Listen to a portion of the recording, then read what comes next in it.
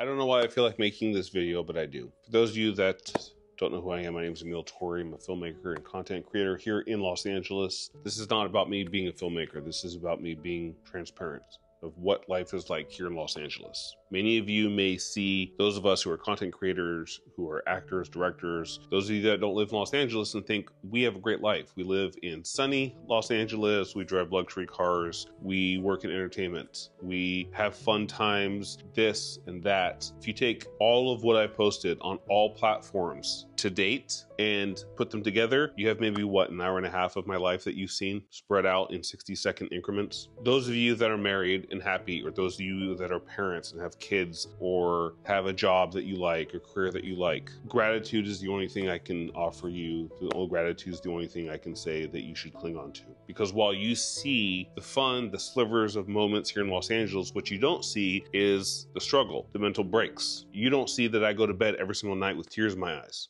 Don't see the fact that I have I've had to accept help from family because it's so hard to make money out here. You don't see the pain that I go through every single day because the person I love, who I have an unbelievably and to some unrealistic history with, the person who holds my heart and I love her with every particle, doesn't want anything to do with me. And I'm pretty sure she hates me and I don't know why. I have no way of finding out. That's the part you don't see on social media. So if you have someone in your life that you love that loves you back and you know it's real, that in of itself is a miracle. You should cling on to that and practice gratitude. If you have kids that are happy, if you have a home that you're safe in, those are all points of blessings that you should be grateful for. I've held an Oscar in my hand. It means nothing to me. No matter what project I do, creative or otherwise, moving forward is not going to be as meaningful and as special as what I'm doing right now and helping my sister build her YouTube channel, build her makeup line, shoot her videos and her events that she has once a month. That to me means more than the time I held an Oscar in my hand. And two Emmys. They meant nothing to me. After three minutes, they were just heavy pieces of metal. It still doesn't mean anything to me. I'm more grateful now being able to do creative things with family and, and her best friend who's a hilarious person. That means more to me than winning awards. And more so, if the love of my life, the person who holds my heart, she knows she does. If she walked into my life right now, she would never ask me to trade my career, but that's how much she means. I would give it all up because at the end of the day, at the end of our life, what matters to me most is how I treated people, whether people rem remember me as a good person or as a person who hurt people. And the only thing that matters to me are the times that I get to spend with the, the people I love, my dog, my family. If I had any control, the person who holds my heart.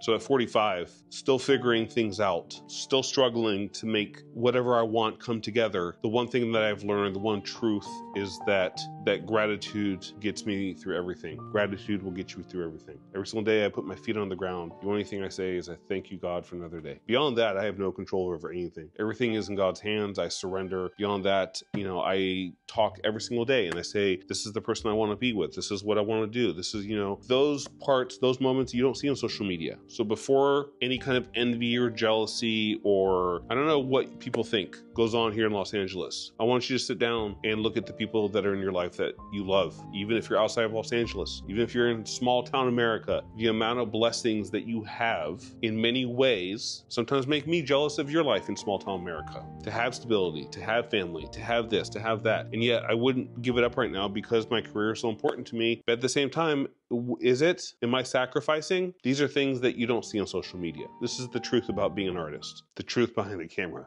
You see what we choose to let you see after the makeup after the lights go on, after we're polished, after we're edited and colored, after cool zoom transitions, graphics, when the lights go off and the makeup comes off, and we have to go back to our space. Some of us alone, we don't record that because we think that that's not what people want, and yet that's real life. That's what it means to be creative. In my experience, I feel more highs and lows and love doesn't always need to make sense. It makes sense to me and it's completely irrational to anybody else. Love doesn't need to make sense. The way you love yourself doesn't need to make sense. But what is hard for many, like climbing Mount Everest, for some, self loving is just as hard. And you don't see that part on social media either. Practice love, self love, be kind to yourself, give yourself a break, be humble, because I'm no better than anybody else. I have nothing figured out. The only thing I've figured out is I know who I love, I know who I want to be with, I know who I want to be, I know what I want to be, and I know that kindness and love matter more than anything else. Beyond that, I have nothing figured out. So if you're in small town America, if you're in a different country, you can breathe. That's a blessing. Don't be jealous or envious of anything you see on social media. It's a show. This is real life. And I believe in transparency, and I don't believe in putting on shows. So, anyway, self love is the most important thing.